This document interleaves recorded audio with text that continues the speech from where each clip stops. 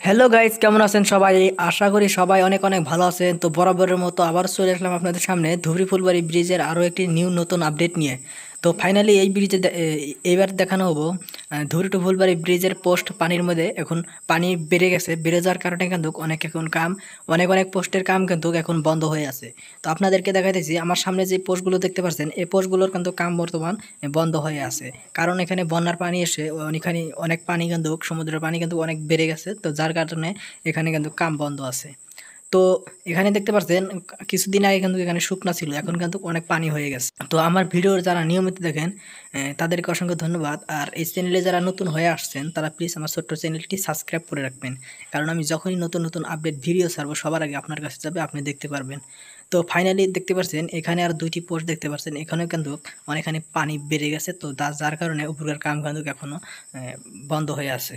তো অনেকজনেই বলে থাকেন যে আপনার চ্যানেলে খালি ধুবড়ি টু ফুলবাড়ি ব্রিজের ভিডিও কেন ছাড়া হয়?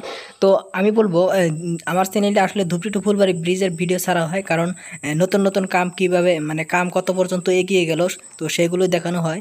স্টেপ বাই স্টেপ দেখানো হব। ধুবড়ি ফুলবাড়ি ব্রিজের একদম শেষ পর্যন্ত দেখানো হব স্টেপ বাই স্টেপ কীভাবে কাম এগিয়ে চলছে, তো সম্পূর্ণ এই ভিডিওতে দেখা, আমার এই চ্যানেলের ভিডিওতে দেখানো হব। তো সেই জন্য আমার প্লিজ চ্যানেলটি সাবস্ক্রাইব করে রাখবেন।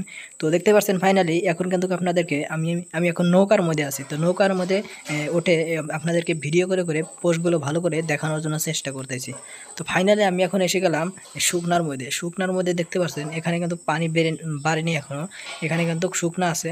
তো পোস্টের ওখানে দেখতে পাচ্ছেন গাতা আছে এবং কি ওখানে পাইলিং করা ছিল সেজন্য বৃষ্টির পানি এসে ওখানে জড়ো হয়ে আছে। এখানে কিন্তু পানি নেই। তো এখানে দেখতে পাচ্ছেন উপরকার কাম কিন্তু অলরেডি কিন্তু স্টার্ট হয়ে গেছে। অনেকখানি কাম কিন্তু এগিয়ে গেছে। আরও এখনও উপরকার কাম চলে আছে, নিচের কাম কিন্তু এখানে শেষ।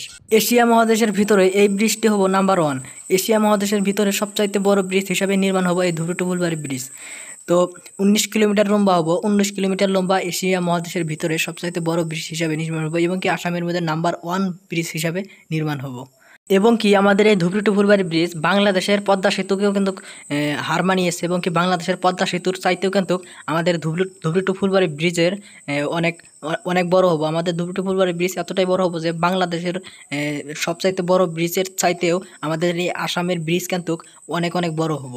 জানেনই, উনিশ কিলোমিটার লম্বা হব এই ব্রিজ তো আমার ভিডিওটি এতক্ষণ দেখার জন্য আপনাদেরকে অনেক অনেক ধন্যবাদ। তো ভাবছি ভিডিওটা এখানে শেষ করব, ভিডিওটা বেশি লম্বা করলাম না। সবাই ভালোই থাকুন, সুস্থ থাকুন, আমাদের চ্যানেলটি সাবস্ক্রাইব করে আমাদের পাশে থাকুন। তো ধন্যবাদ সবাইকে আমাদের এতক্ষণ ভিডিওটি দেখার জন্য, তো খোদা হাফেজ।